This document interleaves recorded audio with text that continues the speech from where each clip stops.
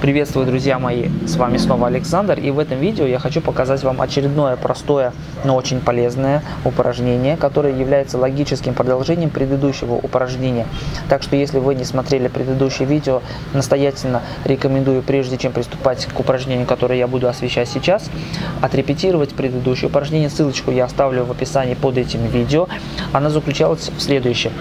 Нужно было в левой руке поставить аккорд ми минор, забыть про левую руку, и дальше мы одновременно щипали пальцами правой руки в следующих связках ПИ, ПМ, ПА две струны через одну струну, а именно шестую с четвертой, пятую с третьей, четвертую со второй, третью с первой и в обратном порядке. Вот так вот мы играли. Потом мы меняли связку ПМ, играли. И ПА. Теперь же наша задача играть то же самое, только последовательно чередуя большой и указательный пальцы в первом варианте упражнения.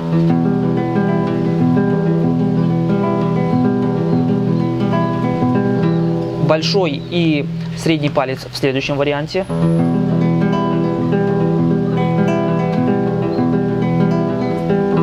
И большой и безымянный в самом последнем варианте.